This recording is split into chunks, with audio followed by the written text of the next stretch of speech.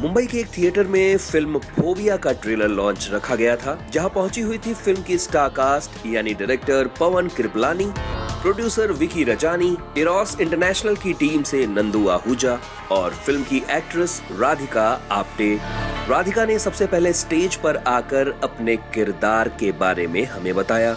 She's a painter and she used to be a very independent, uh, very free spirited, liberal uh, girl staying in Mumbai, just like me and most of us. क्या असल ज़िंदगी में राधिका को कोई phobia है इसका ज़िक्र भी उन्होंने किया हाँ मुझे डर तो बहुत चीज़ों से लगता है पर आई वोंट से दैट्स कि मुझे फोबिया है क्योंकि phobia it's a proper disorder तो वो मुझे नहीं है फ़िल्म की शूटिंग के दौरान भी कुछ ऐसी घटनाएँ घटी जिसके बारे में राधिका ने हमसे बातचीत की four o'clock in the night, we packed up.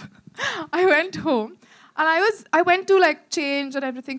I think ऊपर कोई तो कुछ फर्नीचर मूव कर रहा था और मुझे कुछ तो सुनाई दिया and you have no idea how I freaked out मुझे इतना डर लगा मैं बोल हेलो हेलो करके आई वेंट थ्रू लाइक सब घर पे घूम के finally I called Benedict who was not in India And I said, I can hear something. I can't sleep. And I have a call time in like four hours. And what to do? And then the next day I went to Pawan. I said, Chota bhi awaz aega. Main dar jaungi. So let's just put it in. So I don't know. It just, uh, it, oh my God, it was scary. I couldn't sleep that day at all. Well well, thriller और horror तो कई फ़िल्में बनी हैं लेकिन ये एक खास तरह की फ़िल्म है और इसका प्रमोशन किस तरीके से होना है इसका ज़िक्र विकी रजानी ने हमसे किया।